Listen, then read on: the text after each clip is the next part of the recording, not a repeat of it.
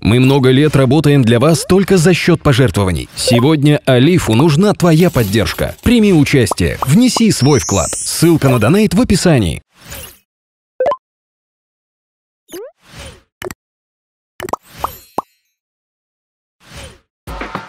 Знаете ли вы, татарские воины в союзе со славянами и литовцами в 15 веке разгромили крестоносцев в Польше. 15 июля 1410 года под городом Грюнвальдом произошла знаменитая битва народов. С одной стороны рыцари Тевтонского ордена, с другой объединенная армия Польского королевства и Великого княжества Литовского. К многотысячному войску присоединились польско-литовские татары. Они прибыли на эти территории примерно за полвека до этого, во время похода литовского князя Витовта на Орду. Против крестоносцев выступили татарские воины под командованием Бахаддина. Еще один крупный корпус – татары Джиляляддина, будущего ордынского хана, сына Тахтамыша.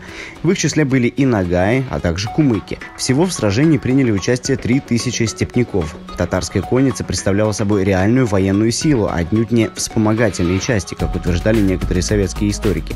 Во время битвы степняки применили незнакомую крестоносцам тактику ложного отступления и в результате заманили их в ловушку. 18 тысяч крестоносцев были убиты, 14 тысяч оказались в плену.